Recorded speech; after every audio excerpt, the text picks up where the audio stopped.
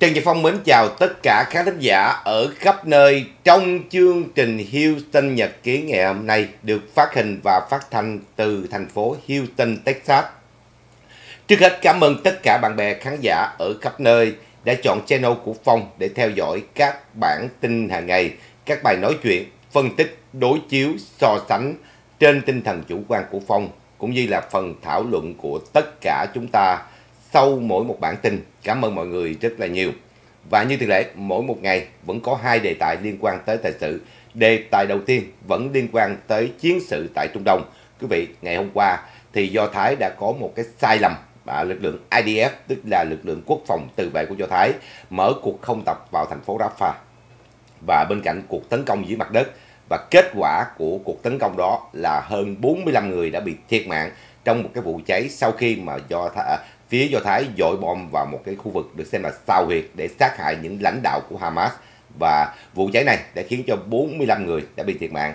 Ngay lập tức thì chỉ chờ cơ hội này gần như là các quốc gia và kể cả những thành phần được xem là ủng hộ cho Palestine, ủng hộ cho Hamas và đi theo chủ nghĩa bài Do Thái lại kích động lên và gia tăng áp lực với lại phía của Do Thái.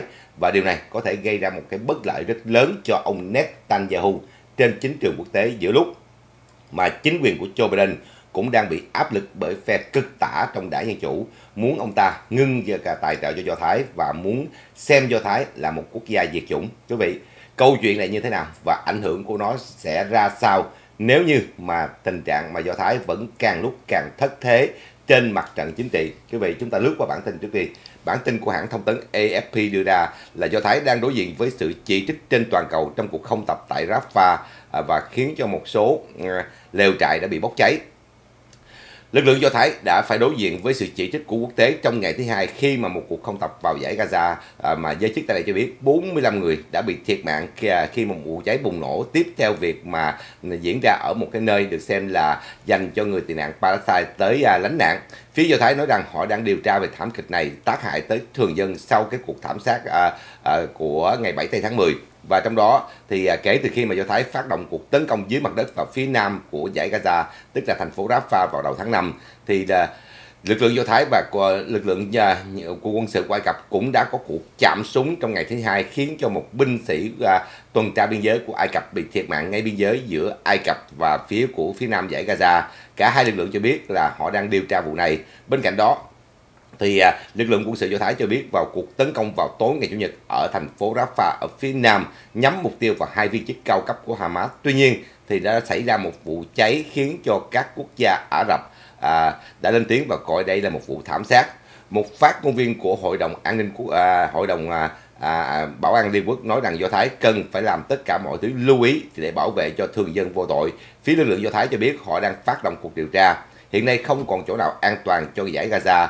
À, việc kinh hoàng này phải chấm dứt. Đó là lời phát biểu của ông Tổng Thư ký Liên Hiệp Quốc là Antonio Guterres đã viết trên mạng xã hội à, giữa lúc mà các giới ngoại giao nói rằng Hội đồng Bảo an Liên Quốc trong ngày thứ ba sẽ có một phim họp à, à, gọi là khẩn cấp trong cái vụ tấn công này và trong đó thì à, một à, một trong những nhân vật làm việc ở đây. À, một cư dân nói rằng là à, gần như là họ đã trở thành mục tiêu và không biết chỗ nào để đi.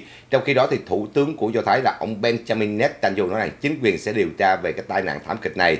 Mà ông nói với tất cả thành viên trong nghị viện là à, một cái tai nạn xảy ra đã bớt bác bỏ tất cả những nỗ lực để bảo vệ cho thường dân trong khi đó thân nhân của những người có à, con con tin bị bắt giữ đã gia tăng áp lực với chính quyền ông Netanyahu đòi hỏi có hành động để cứu lại à, trả tự do cho con tin đang bị giữ và trong đó gần như là đã có phản đối ông. Và Do Thái đã mở cuộc tấn công vào thành phố Rafah vào tối Chủ nhật vài giờ sau khi mà Hamas đã bắn hàng loạt những đạn rocket vào khu vực của Tel Aviv gần như là đã bị bắn chặn hết. Và phía Do Thái cho biết là các uh, chiến đấu cơ của họ nhắm vào các sao huyệt của Hamas ở tại Rafah và sát hại được hai nhân vật gọi là Yassin Rapia và Khaled Naga. Một giới chức cho biết như trên. Tuy nhiên thì uh, cư dân của giải Gaza nói rằng cuộc uh, cái cuộc tấn công này gây ra một vụ cháy và khiến cho đã 45 người đã bị thiệt mạng và cái cơ quan UNRWA nói rằng chúng tôi đã nhìn thấy những thi hài và chúng tôi đồng thời cũng đã thấy được những cái trẻ em phụ nữ đã bị thương và người lớn. Đó là lời phát biểu của một viên chức à,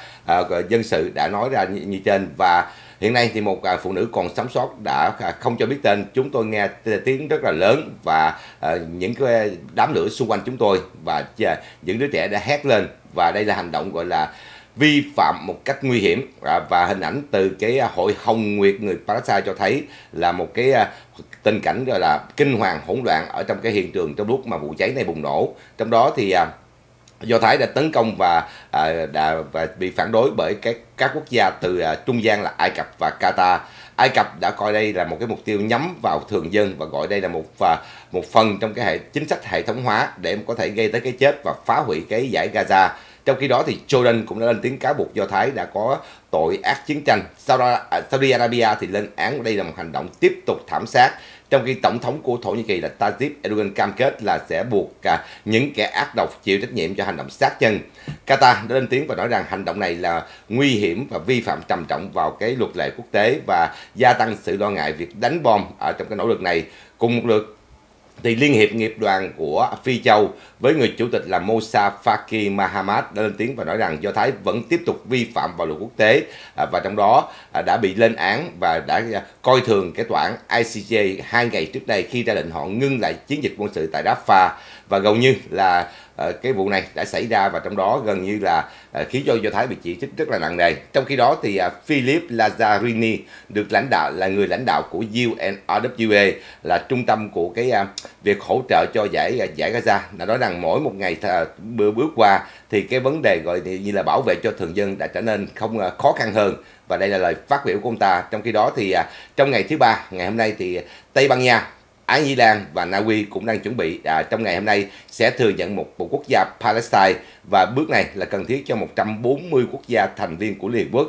À, trong à, trong đó chỉ có một vài à, quốc gia được xem là quyền lực của Tây phương và do Thái phản đối cái biến chuyển này, loan báo rằng sẽ có hành động nhắm vào Madrid và à, ra lệnh cho tòa đại sứ của họ ngưng dịch vụ ở tại à, đây cho tới ngày 1 tây tháng 6 1 tây tháng 6. Quý vị, việc này diễn ra giữa lúc mà phía Âu Châu đã bắt đầu có khuynh hướng khác sau khi mà có cái lực lượng à, gọi là cực tả ở Âu Châu đã chống lại cái cuộc chiến này. Quý vị, nhìn toàn bộ vụ việc này, đầu tiên hết chúng ta thấy sự sai lầm của IDF. IDF đã tuyên bố tấn công vào thành phố Rafah. Thì à, các à, chiến đấu cơ và các cái à, bomber, tức là các quanh tạc cơ, chỉ đóng vai trò là hỗ trợ cho lực lượng dưới mặt đất thôi. Tuy nhiên cho tới giờ phút này thì các bomber và các chiến đấu cơ vẫn đóng vai trò là tiên phong chủ lực nhiều hơn so với lực lượng dưới mặt đất. Đây là cái sai lầm đầu tiên của Do Thái. Khi mà họ đưa lực lượng dưới mặt đất vào trong thành phố Rafah thì sẽ giảm bớt thiệt hại nhân mạng. Thay vì đánh bom ở trên thì tôi đã từng nói quý vị đánh bom hoặc là sử dụng hỏa tiễn trên chiến đấu cơ thì quý vị mục tiêu có thể bị sai lầm. Thứ nhất là do cái hệ thống định vị, thứ hai tin tức tình báo và thứ ba là Hamas luôn sử dụng sinh mạng của người Palestine làm những lá chắn sống cho họ. trên bất kỳ một cuộc tấn công nào của Do Thái khi mà sát hại được các lãnh tụ của Hamas đều dính tới việc chết chóc thường dân.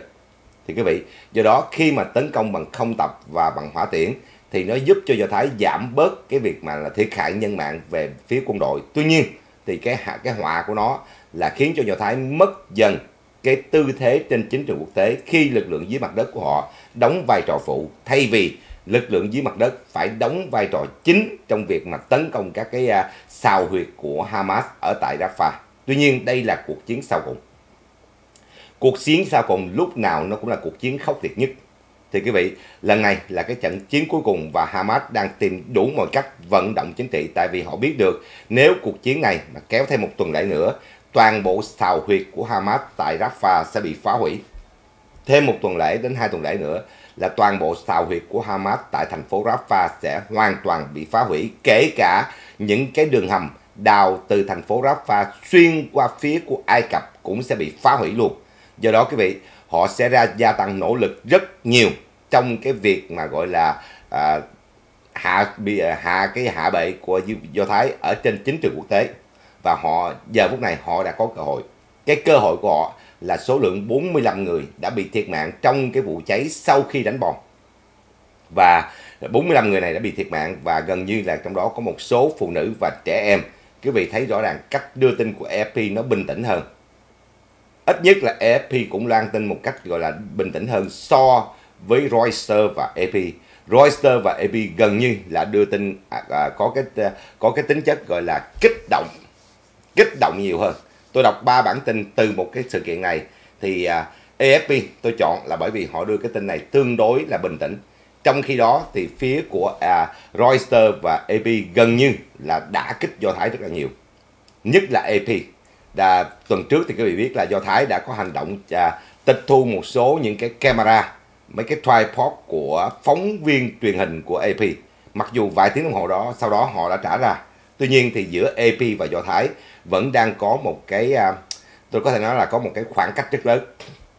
Do đó, cách tường trình của AP hay là Reuters thì chúng ta sẽ nghe sặc cái mùi bài Do Thái.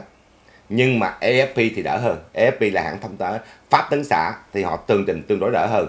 Tuy nhiên quý vị, cái này tôi không nói về cách tường trình của giới truyền thông, mà Netanyahu đang đối diện với một cái áp lực mới, mà cái áp lực này có thể sẽ khiến cho đi tới tình trạng thứ nhất là ông ta có phải, có thể sẽ phải từ chức có thể sẽ phải từ chức trước cái biến cố này và thứ hai là có thể phía của Joe Biden sẽ thay đổi quan điểm. Ngày hôm nay thì Joe Biden vẫn lên tiếng binh vực cho Do Thái và kêu gọi Do Thái là phải lưu ý là cái việc bảo vệ cho thường dân. Trong khi đó thì lực lượng khuynh tả tại Hoa Kỳ từ Ocasio-Cortez cho tới Tel Aviv và kể cả Ihanoma đã đập ra đồng loạt lên tiếng mạnh mẽ và nói rằng đây là tội ác không thể chấp nhận được. Và yêu cầu ông Joe Biden phải thực hiện lời hứa là ngưng cung cấp vũ khí cho Do Thái. Thì quý vị, lực lượng khuynh tả ở tại Hoa Kỳ và lực lượng phản chiến ở tại Hoa Kỳ đang tìm cách kích động vụ này lớn lên. Và sau cái biến cố ngày hôm tối hôm Chủ nhật và ngày hôm qua thì có thể trong tuần này lại có thêm những cuộc biểu tình ủng hộ cho Palestine tràn ở nhiều thành phố lớn Hoa Kỳ hoặc là trong các trường đại học sau thời gian mà nó bắt đầu biểu tình ở các cái trường đại học rồi và bị dập tắt bởi cảnh sát thì có thể nó sẽ biến thể thành một cuộc biểu tình khác và đây cũng sẽ là gia tăng áp lực với chính quyền của Joe Biden, chính quyền cánh tả. Đương nhiên, nếu mà chính à, nếu mà chính phủ Hoa Kỳ và chính quyền liên bang nằm dưới quyền của cánh hữu thì à, họ sẽ không làm gì hết. Tại vì họ biết cánh hữu đứng thẳng về phía Do Thái. Nhưng cánh tả Joe Biden mua hàng hai bên thì giờ phút này họ gia tăng áp lực với Joe Biden. Trong khi đó thì quý vị, ngày hôm nay là 28 tây tháng 5, ba quốc gia là Ái Nhĩ Lan, Na Uy và Tây Ban Nha sẽ chính thức thừa nhận cái à, một quốc gia Palestine. Nó là một cái gia tăng áp lực thêm cho Netanyahu. Trong lúc mà phía của Do Thái và phía của Joe Biden, tức là phía Hoa Kỳ và phía của Do Thái vẫn không chấp nhận cái giải pháp hai quốc gia trên một vùng lãnh thổ ngay ở giây phút hiện tại. Và Pháp trước đó cũng đã phản đối. Thì quý vị, cái nhưng mà cái sự phản đối này khá mong manh. 140 quốc gia nằm trong cái uh, Liên Hiệp Quốc có thể là họ sẽ bỏ phiếu và ủng hộ cho một quốc gia Palestine. Và Đại hội đồng Liên Hiệp Quốc thì cái khối phiếu này ủng hộ cho Palestine nhiều hơn Do Thái.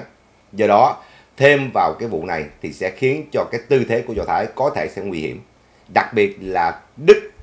Đức là cái quốc gia luôn có những cái hành động binh vực cho Do Thái từ sau khi chấm dứt đệ nhị thế chiến và thành lập một quốc gia Do Thái. Tuy nhiên ngày hôm nay dưới quyền của Olaf Scholz ông ta tuyên bố là sẽ cho bắt giữ Netanyahu nếu ông Netanyahu đặt chân lên lãnh thổ của nước Đức. Và quý vị thấy rõ ràng, cùng một lượt này thì à, Thổ Nhĩ Kỳ đã bắt đầu lên án và tuyên bố sẽ có những hành động cứng rắn với Do Thái. Các quốc gia được xem là đồng minh của Do Thái, bao gồm cả Jordan lẫn Ai Cập, đều đã bắt đầu lên tiếng và gọi đây là cuộc thảm sát, cho thấy rằng là lực lượng IDF đã có một cái sai lầm lớn là sử dụng các cái uh, cuộc không tập trở thành một cái mục tiêu chính cho các cuộc tấn công thay vì nó chỉ là đóng vai trò hỗ trợ cho lực lượng dưới mặt đất. Và cuộc chiến thành phố Rafah này tôi nói là cuộc chiến sau cùng cuộc chiến sau cùng lúc nào nó cũng khốc liệt hơn. Tức là phía của Hamas biết rõ ràng lần này nếu Do Thái thành công mà đẩy họ ra khỏi khỏi uh, giải Gaza thì Hamas sẽ không còn chỗ đứng nữa và dần dần thì cái thừa nhận của những quốc gia xung quanh sẽ chối bỏ và Hoa Kỳ cũng như là Pháp, Anh sẽ áp lực cộng đồng quốc tế là nói đây là một cái tổ chức khủng bố chứ không phải là một cái thả, một cái uh, hệ thống quản trị ở giải Gaza. Bất kể rằng Hamas đã quản trị giải Gaza từ năm 2007, do đó bằng mọi giá Hamas phải dùng tất cả biện pháp chính trị về quân sự thì họ sử dụng tất cả thường dân của Palestine làm cái lá chắn sống mặc dù có trên một triệu thường dân đã rời khỏi thành phố Rafah. Nhưng mà ở đây cũng còn khoảng mấy trăm ngàn dân. Họ ở lại và họ chưa có di chuyển tới những cái vùng an toàn. Và quý vị, phía của Hamas đã sử dụng tất cả những cái à, thường dân này làm lá chắn sống cho họ để bảo vệ cho những cái xào huyệt sâu cùng của họ tại thành phố Rafah. Bởi vì nếu như mà các cái xào huyệt này bị à, phá hủy thì tôi không biết Hamas sẽ lánh đi đâu. Bởi vì phía Bắc do Thái kiểm soát ở Khan Yunis họ đã bị đánh bật tất cả những cái đường hầm, những nơi trú ẩn của họ và ở tại Rafah là nơi cuối cùng. Đây là trận chiến sau cùng mà nếu Netanyahu không có đưa quân tập trung cái à, vũ lực vào khu vực này thì ông ta có thể sẽ bị backfire, tức là sẽ bị phản ứng ngược, nhất là cái biến cố vừa xảy ra, 45 người chết. Thì quý vị, đây sẽ là một thách thức cho Netanyahu. Ông ta sẽ phải đối diện với cái cuộc chiến chính trị do Hamas kích động ở trên chính trường quốc tế. Thứ hai là ông ta đang đối diện với áp lực của phía gọi là đối lập ngay trong nước nhân danh các cái người gọi là à, gia đình của những người con tin bị bắt giữ. Và thứ ba là cuộc à, gọi là phân tán lực lượng của Do Thái. Một mặt vẫn phải đối phó với nhóm Hồi giáo Hezbollah ở phía bắc Do Thái một mặt vẫn tiếp tục càng quét ở phía bắc của giải Gaza và một mặt tập trung tấn công vào phía nam. Do đó lực lượng Do Thái bị dàn mỏng ra. Lực lượng của Do Thái bị dàn mỏng ra và chính vì vậy họ mới nhờ vào cái vấn đề gọi là không tập tức là các cuộc à, tấn công bằng à, chiến đấu cơ bằng bomber là các cái à, mũi tấn công chủ lực của họ. Và tôi cũng không loại trừ trong thành phần của lực lượng quân sự Do Thái vẫn có những kẻ có thể là à, có những cái hành động để tìm cách hạ bệ Netanyahu. Và quý vị các cái hệ thống định vị và xác nhận vị trí này đều có sử dụng tròn tại sao lại xảy ra tình trạng mà bốc cháy và khiến cho thường dân bị thiệt mạng. Mặc dù chúng ta đều biết rõ Hamas sử dụng các thường dân làm lá chắn sống, nhưng mà từ trên tròn họ chụp xuống họ vẫn thấy được thường dân ở xung quanh. Trước khi mà họ dội bom hay là mở cuộc tấn công bằng hỏa tiễn từ trên chiến đấu cơ. Quý vị, những câu hỏi này vẫn là cái thắc mắc của tôi. Tức là ngay trong lực lượng IDF vẫn có những kẻ đang tìm cách sử dụng những cái uh, cuộc tấn công này và một cái lỗi lầm được gây ra có chủ ý để hạ bệ quy thế của Netanyahu. Lần này thì Netanyahu gần như là phải đối diện với cái áp lực rất lớn.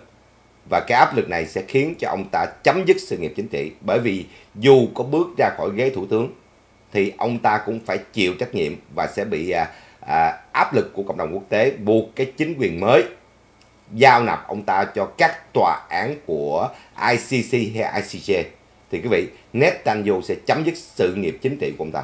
Nếu như mà ông ta không có một cái thái độ dứt khoát và đi tới tận cùng, nhất là cuộc chiến tại thành phố Rafah. Tôi gọi là thành cuộc chiến này là một cuộc chiến khốc liệt cho phía Do Thái. Khốc liệt bởi vì cuộc chiến này, đây là cuộc chiến quyết định số phận của Do Thái. Và nếu như mà quý vị Netanyahu lần này chịu không nổi các áp lực trên, thì coi như là quý vị, thứ nhất, Do Thái sẽ mất mát tất cả. Do Thái sẽ mất tất cả những gì họ xây dựng trong mấy chục mấy chục năm qua. Và bản thân Netanyahu sẽ ngồi, gọi là, chết trong nhà tù, không khác gì Milosevic. Ông ta sẽ chết trong nhà tù.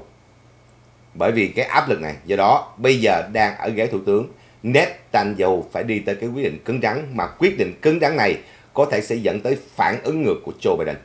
Cho tới giờ phút này, Joe Biden vẫn đang à, tìm cách gọi là hỗ trợ cho Do Thái về mặt à, quy tắc và chiến lược của Hoa Kỳ. Nhưng mặt khác thì Joe Biden đã ngán ngẩm Netanyahu. Ông ta chỉ chờ cơ hội là làm sao đạp Netanyahu một cú cho Netanyahu rơi xuống bậc thẳm thôi. Do đó quý vị, lần này Joe Biden lại sẽ sử dụng tất cả những cái áp lực chính trị ở nội địa Hoa Kỳ để tăng cường cái áp lực với Netanyahu. Và điều này cũng có thể à, khiến cho cả thế giới nhìn vào cái vị trí của Hoa Kỳ nhìn vào cái vị trí lãnh đạo của Hoa Kỳ trên thế giới là tiếp tục duy trì sự ủng hộ một cách tuyệt đối đối với Do Thái hay sẽ vì áp lực của một số quốc gia đồng minh bỏ rơi Do Thái. Đây là cái giây phút khá quan trọng cho phía của chính quyền Joe Biden giữa lúc mà ông ta đang mất điểm ở tại nội địa Hoa Kỳ. Cuộc chiến của Do Thái và Hamas đang khiến cho Joe Biden đang bị mất rất nhiều phiếu và đảng Dân Chủ đang bị chia rẽ trầm trọng. Lần này quý vị có thể nói rằng là Netanyahu đã bị ờ, một cái biến cố gây ra một cái tai họa cho ông ta. Cái tai họa này về mặt chính trị. Thì quý vị, thật sự đây là một trong những cái cuộc chiến mà tôi nói rằng không khác gì cuộc chiến của Việt Nam xưa kia. Những tên du kích cộng sản trốn vào trong dân, bắn ra và cuối cùng lính Mỹ bị là gán nhãn là tàn sát thường dân. Y chang giống như cuộc chiến của Việt Nam ngày xưa và bây giờ Hamas nó copy y chang cái chiến thuật của cộng sản. Nó núp dưới hầm. Nó sử dụng dân ở trên à, ở trên làm lá chắn sống cho nó. Do đó quý vị, cuộc chiến này nếu không có lực lượng quân sự tràn dưới mặt đất để mà phân biệt cả phần thành phần Hamas và dân thường thì rất là khó cho Do Thái. Và nếu như mà dồn tấn công vào khu vực phía Nam, có nghĩa là mặt trận phía Bắc sẽ bị lỏng. Hezbollah sẽ có dịp tấn công vào phía Bắc và hiện nay quý vị thấy mỗi một ngày, Hezbollah và Do Thái vẫn giao tranh ở phía Bắc của Do Thái và phía Nam của Lebanon. Do đó quý vị, lần này cái lực lượng Do Thái bị dàn ra rất mỏng. Cái điều họ trông chờ là cái việc gọi là dứt điểm Hamas một cách dứt khoát. Tuy nhiên thì quý vị, giống như tôi nói là trong số những thường dân ở lại và không chịu đi di tản, hầu hết đều là thân nhân của các thành viên Hamas. Họ vẫn đóng vai là dân thường họ tiếp tục ở lại để ngăn chặn tất cả những cuộc tấn công của Do Thái bằng cái sinh mạng của họ. Và Do Thái thì gặp cái vấn đề rất khó khăn là những người này trên quy tắc họ là thường dân Palestine. Họ không dính tới Hamas. Nhưng mà trên thực tế, thân nhân của họ, con cái của họ, cháu của họ đều là thành viên của Hamas. Do đó quý vị, họ trụ lại ở giải ở thành phố Rafah. Mục đích là sử dụng sinh mạng của họ để bảo vệ cho Hamas. Và Do Thái rất khó trong vấn đề này. Và điều đặc biệt là hiện nay Do Thái gần như là đang bị chỉ trích rất nhiều đặc biệt là cái nhóm mà gọi là cơ quan cứu trợ tị nạn là Palestine của Liên hiệp Quốc. Ngày hôm qua thì cái nghị viện Knesset đã bắt đầu xem cơ quan này là một tổ chức khủng bố. Tức là họ đưa ra một cái bước gọi là xem cơ quan này là một tổ chức khủng bố. Thì quý vị thật sự thì à, cơ quan này có 13.000 thành viên. Tuy nhiên tất cả những thành viên đang làm việc ở giải Gaza và một phần ở vùng Tây Ngạn đều là thành phần của người Palestine và họ hầu hết đều là cảm tình viên hoặc là những thành viên của Hamas. Chính vì vậy mà Do Thái gặp rất khó khăn. Bất kỳ một cái điểm tiêu cực nào đồng loạt sẽ được những nhóm này thổi phồng lên và đưa cho các công ty truyền thông và từ đó thì các công ty truyền thông từ AP cho tới Reuters sẵn sàng thổi phồng các thông tin các tin tức này lên. Thì quý vị, quý vị nhớ là Do Thái đã từng đưa danh sách ít nhất 12 nhân viên của tổ chức này can dự trực tiếp vào cuộc tấn công vào Do Thái ngày 7 tháng 10. Tới ngày hôm nay, còn ai nhắc không? Tới ngày hôm nay những công ty truyền thông như là AP, Reuters còn nhắc không? Hoàn toàn không nhắc. Là bởi vì quý vị, họ có mục tiêu.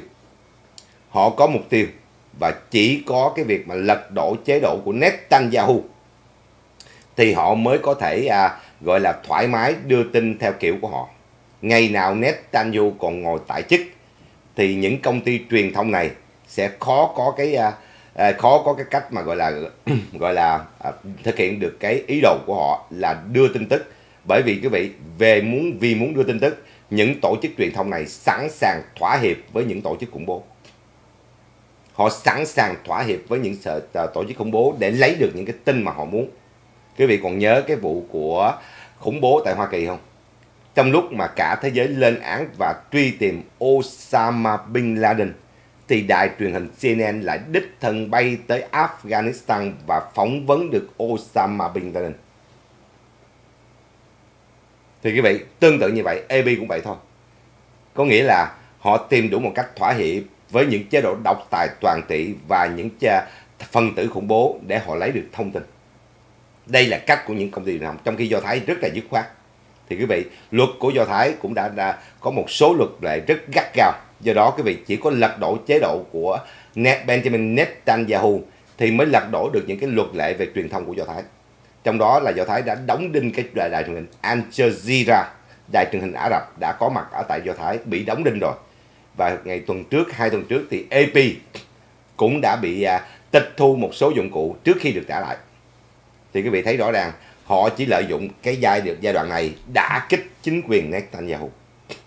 Và cuộc chiến của Do Thái không những ở Rafah không những là ảnh hưởng tới toàn bộ dân tộc Do Thái mà nó còn ảnh hưởng tới chính trường của Hoa Kỳ, nó ảnh hưởng tới chính trường của Âu Châu. Bởi vì rất nhiều những người Do Thái nằm trong chính trường của Âu Châu. Rất nhiều người Do Thái và những người chống Do Thái nằm trong chính trường của Hoa Kỳ. Do đó quý vị, mỗi một giây phút mà sai lầm của IDF nó trở thành một cái biến cố, một cái sự kiện và ngay lập tức quý vị thấy là đồng loạt lên tiếng đồng loạt lên tiếng trong lúc mà phía của Do Thái đang nỗ lực để loại trừ nhóm Hamas. Nhóm đã tấn công khủng bố vào à, lãnh thổ Do Thái. Tôi đã từng nói với quý vị rất nhiều lần là cứ assume đi, bây giờ Do Thái mà chấp nhận ngưng bắn đi, thì quý vị có nghĩa là Hamas vẫn còn tồn tại. Và ai bảo đảm là Hamas sẽ không tiếp tục tấn công Do Thái. Họ đã tấn công rất nhiều lần và lần mới nhất là tháng 10 năm ngoái là cái vợ lần khủng khiếp nhất thôi họ vẫn tiếp tục tấn công Do Thái, có nghĩa là không có hòa bình. Họ vẫn xây dựng trong một cái tinh thần thù địch và sẵn sàng tiêu diệt toàn bộ dân tộc Do Thái với sự hỗ trợ của Iran. Và việc này cho thấy rõ ràng quý vị đang có mầm móng là phía Do Thái gần như là đang mất dần chỗ đứng ở trên chính trường quốc tế. Trừ phi Netanyahu đánh phủ đầu vào đầu rắn. Cách đây hai ngày thì uh, Ayatollah uh, Khamenei đã lên tiếng và cam kết sẽ tiếp tục tiêu diệt cho Thái. Trong lúc mà ngày hôm qua thì quý vị thấy là IAEA báo cáo là giờ phía Iran đã làm giàu chất uranium gần tới mức 90% để có thể có được ít nhất là một hai trái bom nguyên tử.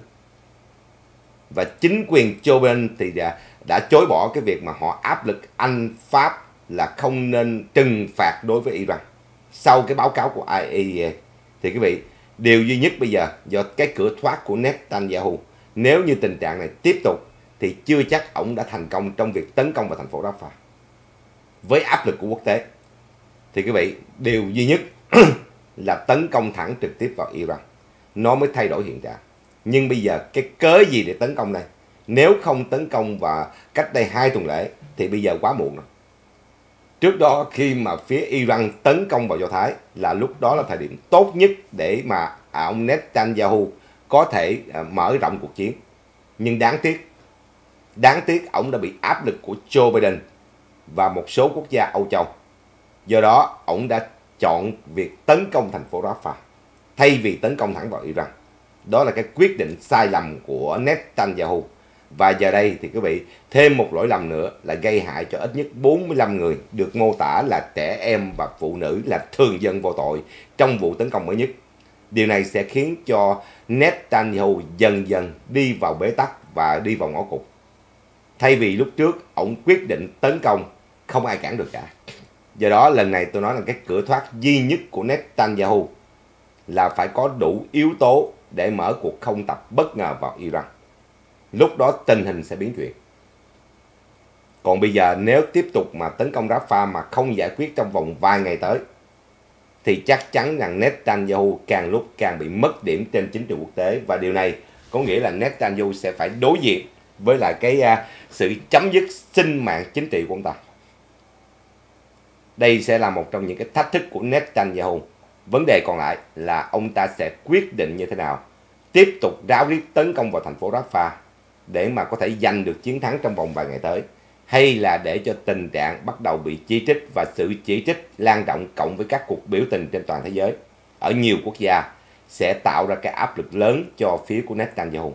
Quý vị, chúng ta chờ xem coi mức độ cứng rắn của Netanyahu sẽ đi tới mức độ nào, có đủ để vượt qua cái trận này hay không. Cảm ơn tất cả khán thính giả rất là nhiều cho bài nói chuyện này. Phong sẽ trở lại cùng tất cả khán thính giả ở khắp nơi trong chương trình kế tiếp của TNP Channel. Xin quý vị và các bạn nhớ đón nghe và theo dõi. Mến chào tất cả khán thính giả và chúng ta sẽ gặp lại sau. Bye bye.